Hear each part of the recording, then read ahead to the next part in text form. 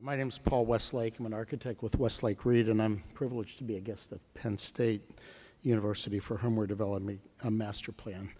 Um, I'm usually satisfied by the performance experience, but disappointed in the social aspects of the event, I, which I always feel is more like a Presbyterian church service than a, uh, than a performing arts event. But um, I, I, think we've heard a lot of these themes today, and I really thank the presenters for the education they've given me. Um, talk a little bit about the conversion of uh, four, uh, 1400 seat pre-depression movie palace um, to a 500 seat theater. And I see, I think you see some um, intentions um, in these drawings to dissolve the boundary between the audience and the actors and dissolve the boundary be between the social experience of the lobby and the audience chamber and the performance. You can note here um, also a bar in the audience chamber and to just generally break down the formality. But um, if you see the plan, we combined um, the, the audience chamber with the lobby. And, and we also put at the rear of the theater um, lounges. We took the worst seats we, and we put loose seating in there and, we, and a bar there which has sight lines to the stage. There are about 60 seats um, in those. And there's a hydraulic stage which is a thrust, but it also has a proscenium.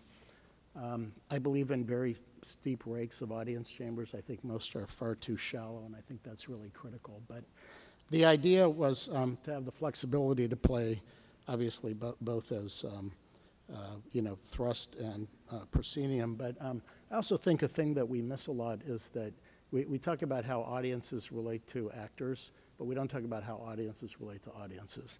And I think you can see when we uh, designed the balcony, we, we tried to get the arrival point of sight to be two to three rows from the stage so that the audience is actually visualizing the emotions and the reaction of the audience, of the other audience members.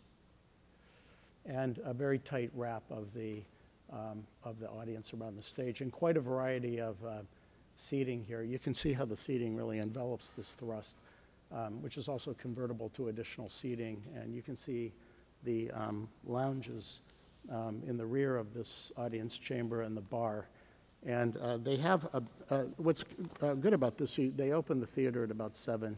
You can witness the fight calls. Um, they really never close the curtain.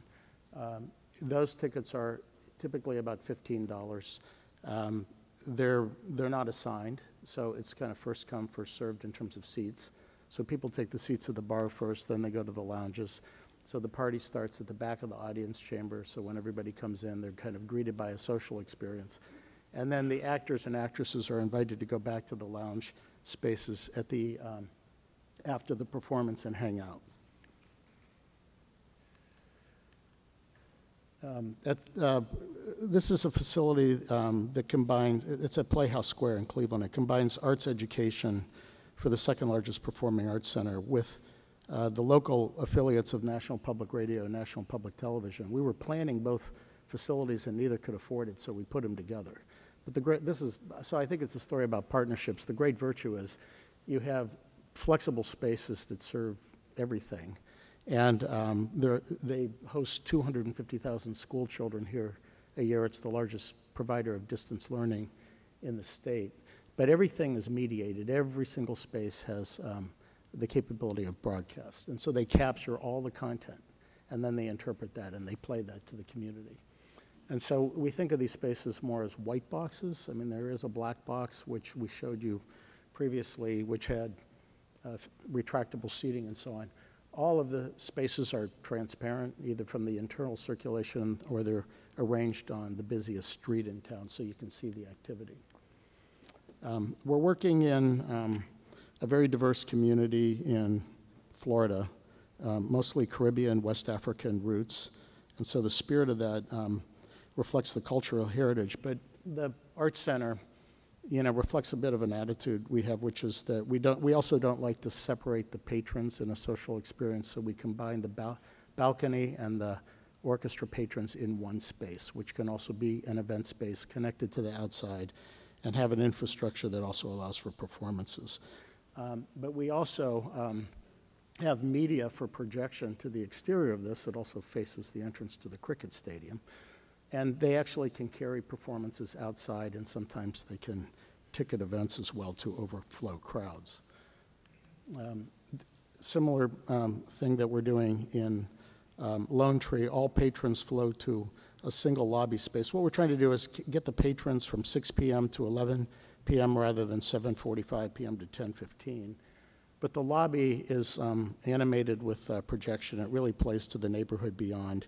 It connects to a multi-purpose room, which also can be open to an amphitheater and therefore become a stage, so that this can be combined with the lobby or it can, can be combined with the outside. And at Penn State, um, uh, we are developing an expanded lobby and another studio. Um, and the idea of that is to really uh, broadcast the arts to the campus and create a, social spaces so that um, we, can, we can actually draw people into the facility, which was previously closed. It also has a variable enclosure, and I think one of the ideas was to be able to connect the stage to a plaza and, and allow various forms of interpretation so it would become a destination on the campus.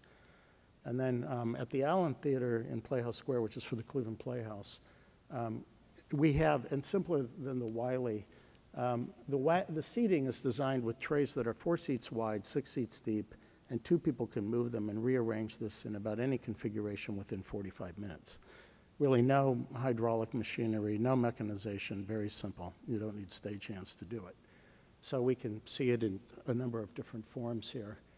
Um, and then finally, um, I think, uh, you know, in a, in a kind of a beat up Milltown, Bethlehem, Pennsylvania, their new art center, which is across from the great icon of the Bethlehem Steel Mill, to look at, you know, the kind of environment of this, the introduction of uh, iconography of local artists, uh, the use of technology, fr- which is typically on the stage, which is brought into the audience chamber and even illuminating the mill, and then, you know, just you know, create an environment which um, is a place for intellectual loitering and really becomes kind of a cultural YMCA in the community. That's it.